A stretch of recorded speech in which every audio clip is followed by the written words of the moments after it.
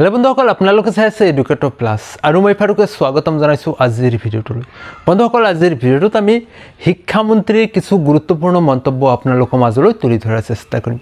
অৰ্থাৎ শিক্ষামন্ত্ৰী মহোদয়ে আজি শিক্ষা বিভাগ লগতে মেট্ৰিক পৰীক্ষা ইয়াৰ লগতে স্পেচিয়েল টেট এই বিষয়ে কিছু গুৰুত্বপূৰ্ণ মন্তব্য আপোনালোকৰ মাজলৈ তুলি ধৰিছে।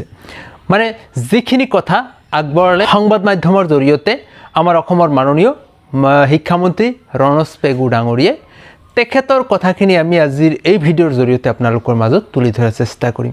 প্ৰথমৰ পৰা শেষলৈ ভিডিঅ'টো চাই যাব আৰু চেনেলটোত নতুনকৈ আহিলে নিশ্চয় ছাবস্ক্ৰাইব কৰি ৰাখিব কাষত থকা বেল আইকনটো অল অপশ্যনত ৰাখি দিব। কাৰণ আমি শিক্ষামূলক চাকৰি সম্বন্ধীয় আৰু বিভিন্ন বা বাতৰিবিলাক আপোনালোকৰ মাজলৈ প্ৰভাইড কৰাৰ চেষ্টা কৰোঁ। আহক মূল ভিডিঅ'টোলৈ আগবাঢ়ি যাওঁ। আমাৰ যিহেতু গৰম বন্ধ এমাহ হয়েই সেইকাৰণে যাতে কোনো মাহ সময় ক্ষতি নহয়। তাৰ কাৰণে এই কভিড কালৰ মাজতে আমি গৰম বন্ধৰ সময়কেইটা গৰম বন্ধটো আমি ঘোষণা কৰিলোঁ।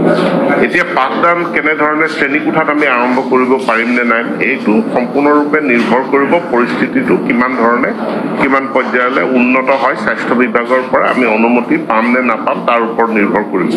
কিন্তু পৰিস্থিতি যদি এনেকৈ অব্যাহত থাকে তেতিয়াহ'লে আমি ইয়াৰ এটা বিকল্প মেকানিজম আমি ইতিমধ্যে গ্ৰহণ কৰিছোঁ যে আমাৰ শিক্ষকসকলে ছাত্ৰ ছাত্ৰীসকলক ঘৰতে এছাইনমেণ্ট বা হোমৱৰ্ক তেওঁলোকক দিব লাগিব। যদি গৰম বন্ধ খোলাৰ পাছত প্ৰতি পোন্ধৰ দিনৰ মূৰে মূৰে তেওঁলোকক হোমৱৰ্কখিনি দিয়া হ'ব আৰু যেনেকৈ দিয়া হ'ব সেইখিনি ঘূৰাইও অনা হ'ব আৰু ঘূৰাই আনি তাৰ ওপৰত এটা ইভালুৱেশ্যনো কৰি যাতে পাঠদানৰ প্ৰক্ৰিয়া এটা ঘৰত থক- থাকিলেও সেইটো যাতে অব্যাহত ৰাখিব পৰা যায় তাৰ কাৰণে আমি পদক্ষেপ গ্ৰহণ কৰি অনলাইন প্ৰক্ৰিয়া চলি আছে কিছু ঠাইত। কিমান ফলৱতী হ'ব বুলি আশা কৰিব অনলাইনটো বিকল্প নহয় সেইটো চলিউশ্যন নহয়। সেইটো ই এটা এডিশ্যন হ'ব পাৰে।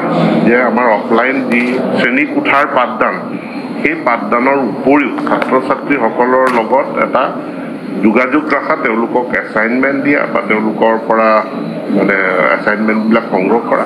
ইয়াত এটা অনলাইনটো এটা ওপৰঞ্চি সংযোজন হ'ব পাৰে ই বিকল্প নহয়। গতিকে আৰু অনলাইন সকলোৰে কাৰণে উপলব্ধও নহয় কিন্তু আমি যথেষ্ট শিক্ষা বিভাগক ডিজিটেলাইজ কৰিম পাঠদান প্ৰক্ৰিয়া আমি ডিজিটেলাইজ কৰিম। তাৰ অৰ্থ এইটো নহয় যে শ্ৰেণীকোঠা বিলুপ্ত হৈ বিলুপ্ত হৈ যাব। গতিকে আনুষ্ঠানিক শিক্ষা সি থাকিবই শ্ৰেণীকোঠা থাকিবই। মেট্ৰিক পৰীক্ষাৰ কথা এটা সিদ্ধান্ত গ্ৰহণ কৰা হৈছে সময় নিৰ্ধাৰণ কৰা হৈছে? সময় এতিয়ালৈকে নিৰ্ধাৰণ কৰা নাই কিন্তু পৰিস্থিতিটোৰ যদি অলপ উন্নতি ঘটে। যদি স্বাস্থ্য বিভাগৰ পৰা আমি অনুমতি পাওঁ এটা গাইডলাইন আমি পাওঁ তেনেহ'লে আমি পৰীক্ষা পাতিবৰ কাৰণে সষ্টম হয়। আৰু পৰীক্ষাটো অনুষ্ঠিত কৰিবই লাগিব। গতিকে এইটো ছেপ্টেম্বৰ হ'ব নে আগষ্টত হ'ব এইটো বেলেগ কথা কিন্তু পৰীক্ষা অনুষ্ঠিত হ'ব। স্যাৰ অপশনাল যিটো সাবজেক্ট কৈছে দুটা হওক বা চাৰিটা হওক সেইটো যদি আগতীয়াকৈ যদি অকণমান এনাউন্স কৰি দিয়া যায় তেতিয়া ল'ৰা ছোৱালীখিনি অকণমান ছাত্ৰ ছাত্ৰী আমি আগতীয়াকৈ এনাউন্স কৰিম। কিন্তু আজিৰ তাৰিখত এইটো চূড়ান্ত সিদ্ধান্ত হোৱা নাই। কিন্তু খুব সোনকালে আমি ঘোষণা কৰিম স্যাৰ সংগীত মহাবিদ্যালয় মহাবিদ্যালয় যিসকল ৰেগুলাৰ নিয়োজনীয়া কথা পৰিৱৰ্তে তাৰ দৈনিক ভাতা হিচাপে নিয়োগ কৰা কথাটো কৈছে তাৰ প্ৰতিক্ৰিয়া সৃষ্টি হৈছে আমাৰ অসম চৰকাৰ আমাৰ অসম চৰকাৰৰ সপ্ত ধাৰা বুলি এখন আঁচনি গ্ৰহণ কৰা হ'ল। আমি গোটেইবিলাক সংগীত শিক্ষকক এনেধৰণে দৈনিক ভাত্তা দিয়াৰ কথা আমি নাই কোৱা। কিন্তু আমি যিটো কৈছোঁ যে আমাক এজন একো একোজন শিক্ষক এখন বিদ্যালয়ত বা এখন মহাবিদ্যালয় বাৰ মাহৰ কাৰণে আমাক নালাগে। তাৰ এটা ওপৰঞ্চি দুটা বা তিনিটা ক্লাছ ল'ব লাগে। সেই দুটা বা তিনিটা যিটো ক্লাছ ল'ব লাগে তেতিয়া সেই ক্লাছ লোৱাৰ ক্ষেত্ৰত কাৰণে আমি এজন ৰেগুলাৰ শিক্ষক নিদি এই সপ্তধাৰাৰ অধীনত যিটো আউটচোৰ্চিং কৰা বুলি কয় আমি শিক্ষক বা হিউমেন ৰিচোৰ্চ আমি আউটচোৰ্চিং কৰাৰ কথাহে কৈছোঁ। শিক্ষকসকলৰ ভাত্তা মানে দৈনিক ভাত্তাত শিক্ষক নিযুক্তি দিয়াৰ কথা আমি নাই কোৱা। স্পেচিয়েল টেট আমাৰ সকলোখিনি প্ৰস্তুতি সম্পূৰ্ণ হৈ আছে।